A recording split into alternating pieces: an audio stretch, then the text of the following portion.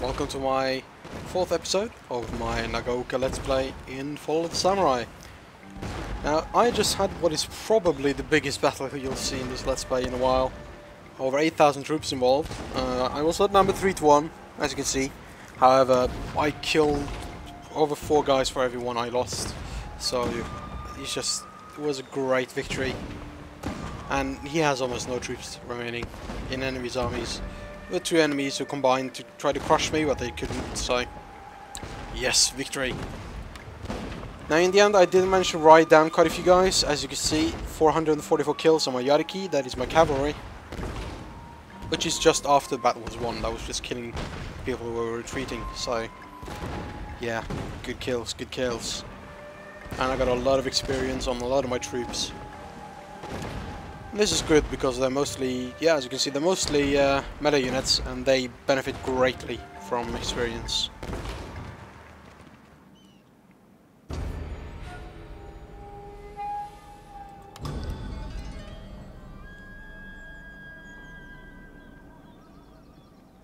Hmm, great. My people love that I'm doing such a well and good job. So, that's good to hear. Now then, Let's crush the remainder of his armies. Do any of them have any generals I can steal? No? Okay then. Oh, I actually have, um, I have these guys. No? Oh, okay. I forgot to disembark them earlier. Sucks. Now then, to chase down and kill the stragglers. I'll just do like this. Right. This way I can probably reach the other... No, I can't. I'll just do like this though. Boom, boom, boom. And gone. No more stragglers, total annihilation. That's what happens when you mess with Nagaoka. Oh, and a daughter was born. Probably in the middle of the siege, because that's where my daimyo is.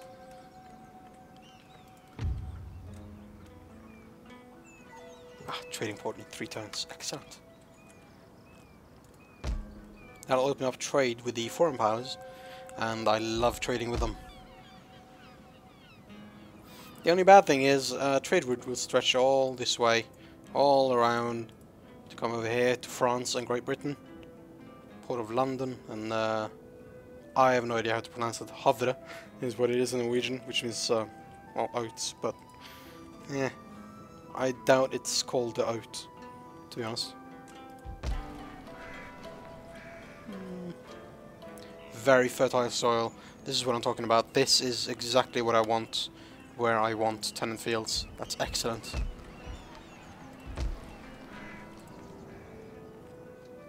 At your command. And that's it for now. Uh, should I recruit more troops? I believe I have enough to mess up Numata properly. I do want a peace agreement with uh, Nagoya. No, not Nagoya. With uh, the other Morioka. These guys. Unacceptable. Oh, screw you then. Get on by Sado, see what I care. I just crushed his army, so Sado's just gonna have fun and take just take all his territories. Actually, Aizu has taken one of his territories as well. Contrary to what normally happens, Aizu's actually managed to expand a bit. They've taken two other provinces for some reason that usually doesn't happen to me to them, but uh, maybe it's this patch that I've I have not, not played since the last patch. That's probably why this is happening, because there's a lot of cool certain changes, small things that I've noticed since the patch that are very good.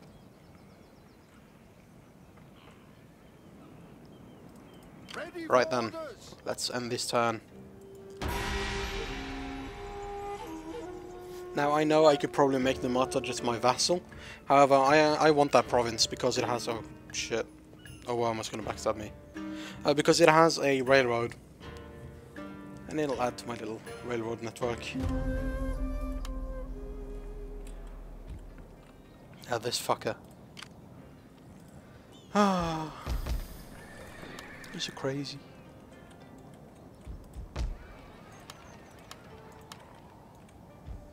Yes, my lord. That should do it for defense for now. It probably won't come in time, but... Uh, okay, Tsu just declared war on Obama, and Tsu are right down here. So hopefully he'll turn around and decide not to attack me. Because attacking me when he's at war with someone else would be a big mistake. Ready and to adventure and glory. Yes, to adventure and glory. Discretion as always, Lord. It is my honor to serve. My sword for you, my lord. Do I have any other units that are almost fully healed? I have two. So I'm gonna send them with my daimyo to take out the enemy. Death and order! I should probably just send my shinobi with them as well. Your orders, my lord.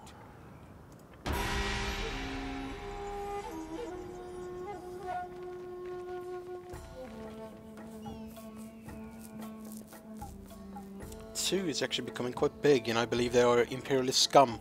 So uh, they might pose a problem if they take out Obama.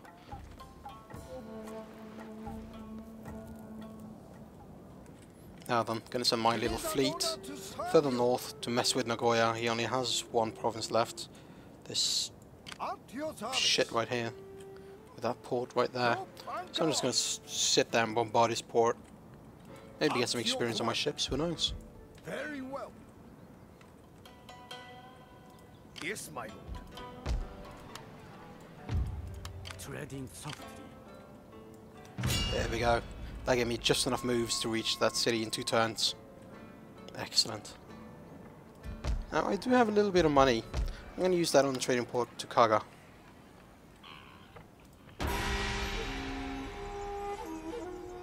I also need to expand the Kaga, make it bigger. Because it's my recruitment province, it's where I'm going to be recruiting all my troops. Ah, there we go, he sent this little army into my territory, which is a big mistake.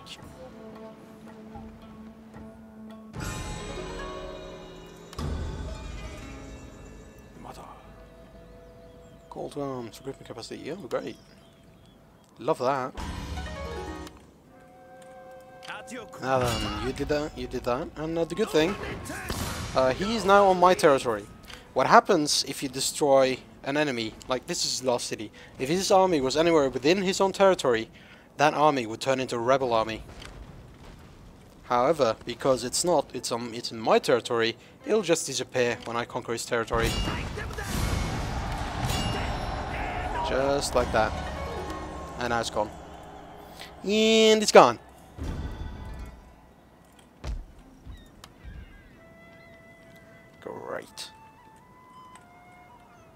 Actually making a little bit of money now. I know it's not a lot in the big picture, but it is a little bit. And a little bit is a lot more than what I earned earlier. These guys still can attack these guys to us. That's weird. Ah yes, because of the cottage industry and no happiness buildings. Happiness buildings.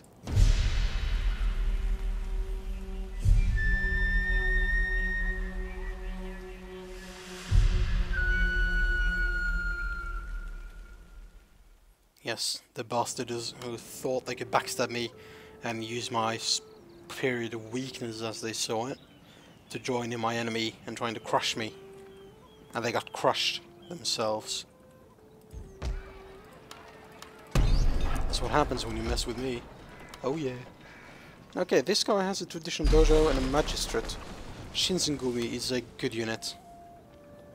I actually want to just recruit the shinobi while I still have that. Traditional dojo. Uh, the magistrate is a good good building. I do prefer the inn because it also gives uh, money in addition to giving happiness. However, um, since it's already built and it's actually, uh, I think it's level 2. Yes, it is. It's level 2. So I'm going to keep it.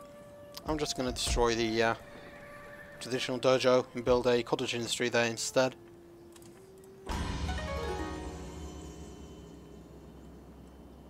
Excellent, excellent. Right then, nothing more to do now. Now Shinsengumi and Ishinshishi are two units I really like. They have some cool features. For example, the probably most used feature is that they can make enemies' towns rebel. Especially towns that the enemy has conquered. If the enemy is Imperial, for example, and he's conquered a Shogunate town, and a lot of the population are still Shogunate aligned, then it'll be very easy to make that city revolt.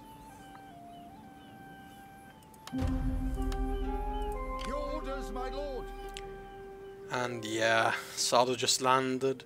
However, as you could see if you paid attention during the end turn screen, he has a Morioka that is has a full army somewhere near here. So he's probably gonna end up losing that little army. Sado is. We'll see. Actually, that's Matsumura will land there. I'm not sure how to pronounce that name, but I hope he was correct. And one of my ships, my gunboat, actually got XP. I hate gunboats.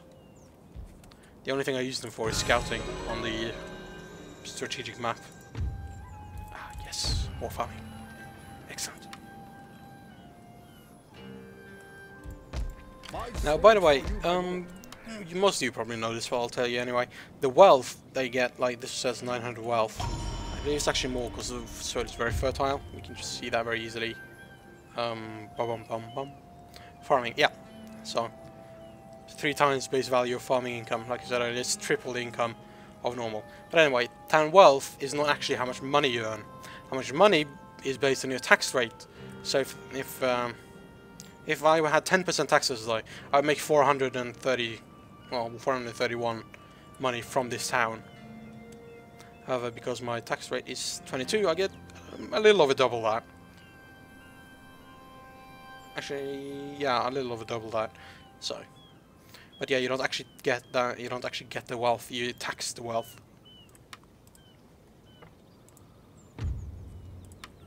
And Noto is still very unhappy. The bastards. I'll expand the city and build an inn there next turn. If I can afford it. Which I probably can't because I just did that. My lord. I am ready to serve. How may I This serve? city is mostly pro-emperor. So I put my uh, Shinsengumi in there. Shinsengumi. And he will uh, help increase the amount of pro-shogunate people What? in my is little city. I'll send this shinobi to Kaga Discretion was always law. to do some uh, scouting and you're basically keeping that city safe. I also believe that I will soon have railroads. Excellent. I'm gonna save up for railroads because they are just so good when it comes to strategic use. There's just nothing that can beat them. They're excellent for moving troops around. It's probably the feature I love the most in this game, railroads. Oh, and he's still attacking, even though that huge army just marched right past him. Ready for orders. Well, he's got balls, he's got cojones.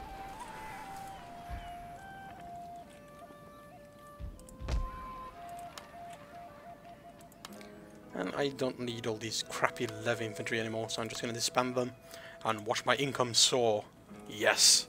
More money!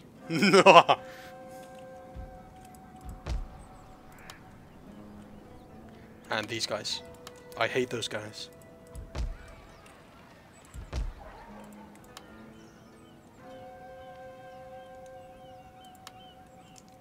No.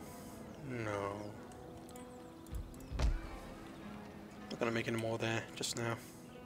Yes, I am going to save my money to improve an auto. So I can start taxing the bastards again. Because I need my money. You want more money? Give us some that internet money. And if you could take that where that come from, I will upload you. There you go. If you didn't know where that come from, where that came from, well, too bad.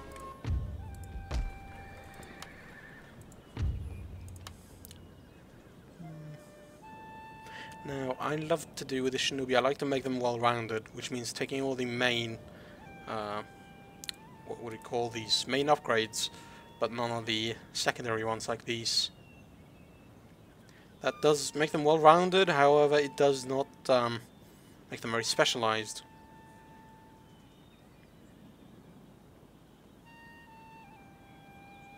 But this guy, I believe I'm going to make into a military spy.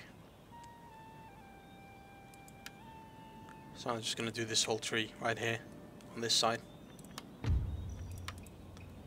I'll make the other guy a well-rounded guy. Okay, my port is finished. I can make a trading port. Excellent. I'll do that in my capital. I know I said I was going to do upgrade in Noto, but I'll just wait one more turn. Trading ports are great because they'll give you foreign veterans and you want to tho train those from as soon as possible. I'm actually gonna have to put my shinobi in some other town because uh, I will training ports in these other other places. I also have two, I have three ports tonight that I don't actually have any trade routes going through, so I'll see if I can get more. Um, okay. I'll see if I can get more trading routes, trading allies, something like that. And instead of crushing my navy, which you probably could have, you just run around it.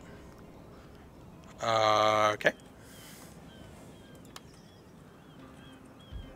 I'm curious though, where is he going to try and attack me? I'm very curious about that. honor to serve you. Hmm. Now I could be a bastard and just bomb his uh, port while I go past it. You know what? That is exactly what I'm gonna do. Prepare the guns. it's not enough to stop trade going through it. You need uh, I it's either 25 or 50% damage to stop trade going through it, but uh, it's enough for now. Also start um, upgrade my fleet a bit because I need more ships to fight off that bastard.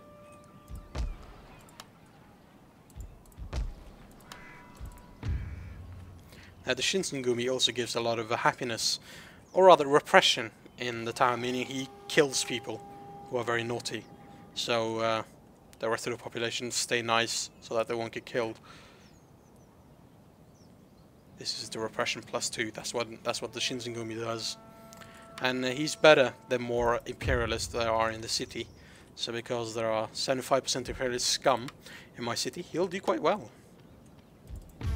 However, it's still just plus three happiness. So I'm going to send my general and the Katanakachi up north to Chigo.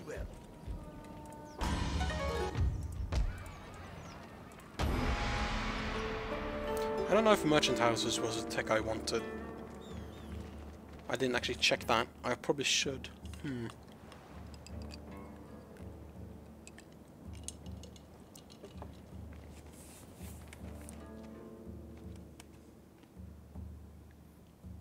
Now, will he attack my fleet? And he will. Hmm. Would you look at that? Two corvettes against four. You know what? I'm gonna try to run away. I don't really want to lose my admiral. Run away! If that doesn't happen, oh, okay, it, he lived. Excellent. He survived. I need to wait until my two corvettes are done.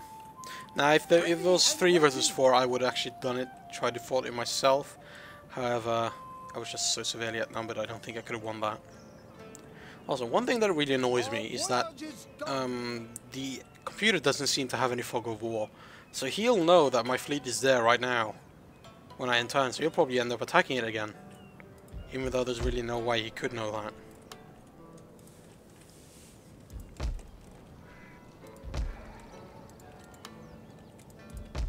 I mean, yes, he could probably guess, like, the... Since because of the direction I was going or whatever, but they always know exactly where your fleets are. My sword for you by marching now. Hmm. Merchant houses, is that really what I want? It's plus five. um, blah, blah, blah. Yep, I want that. I want explosive shells more though. Hmm. You know what? I'll get explosive shells first and then I'll get merchant houses.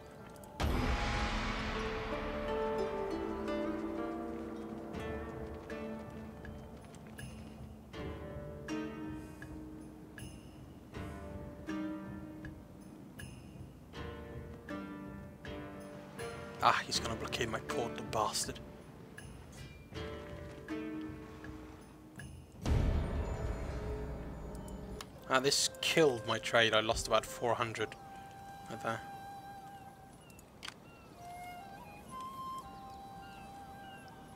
Full speed ahead.